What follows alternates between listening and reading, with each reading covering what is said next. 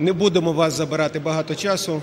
Ми хочемо, наша група партії за майбутнє, звернутися в першу чергу до фракції Слуги народу. Тільки що в вашому партійному чаті керівник комітету, який має піклуватися людьми, дітьми, пані Третьякова, написала, що одним ворогом менше про Полякова, про смерть Антона Полякова.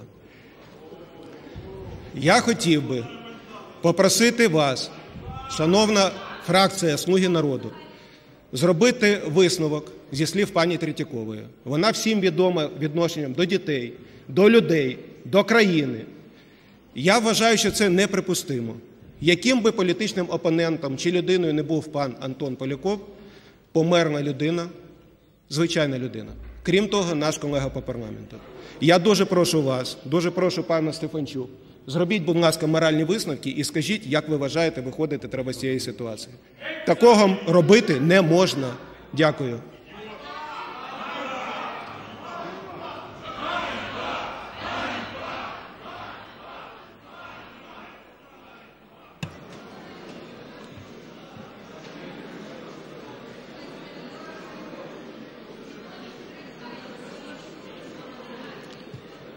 Шановні колеги, Галина Миколаївна, ви, ви впевнені, що ви хочете репліку? Да?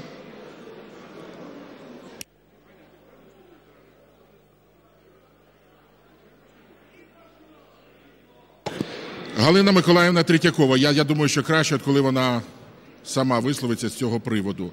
Але, звичайно, якщо такі слова були, вони неприпустимі. Мене два зауваження. Перше зауваження, звідки е, Замайбах знає про те, що пишуть чаті Слуга народу, це раз. А по-друге, а по-друге, коли люди, які борються за свободу слова, яка гарантована кожній людині тут, в залі, Конституцією,